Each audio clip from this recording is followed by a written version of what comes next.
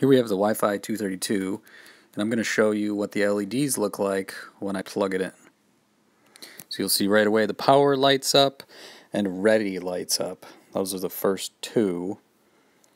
And then in the computer it's going to be recognized as a COM port because the breakout board that I'm using, the Wi-Fi 400, has its own USB controller. And that's COM11. So now I can connect to the network. It's going to be the USR 232. And you'll notice nothing changes in terms of the LEDs when I connect. Once you're connected to the Wi-Fi network, you can access the interface to configure this unit from the address 10.10.100.254. Click on STA setting to connect the Wi-Fi module to your local network. Click the Scan button to see the list of local networks. Select your network and click OK. On the next page you can enter the password.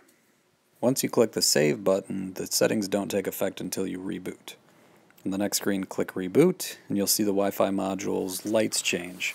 The power button will be illuminated, but then now you'll see Ready and Link because when it boots up, it'll be connecting to your local Wi-Fi network.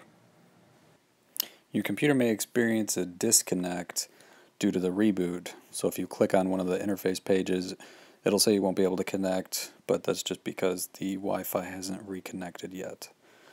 So give it a couple of seconds, and then when you refresh the page, it'll come back. And now you can see on the system page, we are in fact connected to the local Wi-Fi network with 52% signal strength. Clicking on the Other Settings tab, we can change the serial port parameters.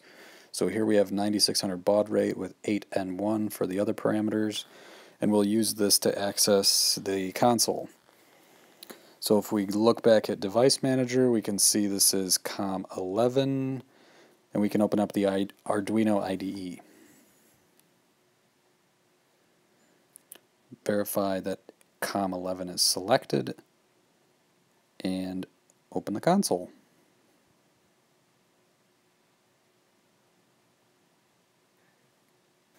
When you first connect, you want to make sure you have the correct uh, console parameters. We want to send no line ending character and 9600 baud and let's type in our plus plus plus to initiate command mode. So here I'm not getting any result, which is strange, but if I look at my jumpers, my jumpers appear to be wrong. So this breakout board has three sets of pin headers and a US or two sets of pin headers and a USB port. So in this case, we need to move the jumpers all the way to the left to pass the communication over the USB port.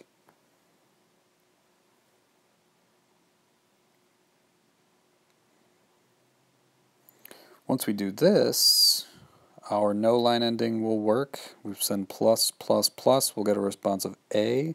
Send the A command, and you should get the A plus OK response. So in my case, I was a little bit too slow. So I'm going to try it again. Making sure no, no line ending is being sent. So we have no line ending. And we're going to do plus, plus, plus with a short pause in between. We see our A response. We send A and we'll see plus OK. Now we can send the help command at plus h, but I forgot I need to set, the console back to carriage return, and uh, if I, I, I, need to uh, error out once, send at plus h, and now we're going to get the command list. And at the end of any command response, you see a plus OK. If you see anything else, you got a problem. So once we can uh, verify that we have communication to the command console, we can send a ping command, we'll ping google.com. And the result is successful.